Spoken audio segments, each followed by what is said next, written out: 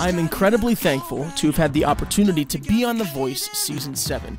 As a result of the show, I garnered an amazing following of listeners who not only love my music, but they also love what I stand for. Creating custom merch that matches my style and reflects my passions to my listeners has been invaluable. I don't have to keep boxes of shirts and stickers in my basement. I can just head to my shop, and Spreadshop will do the rest.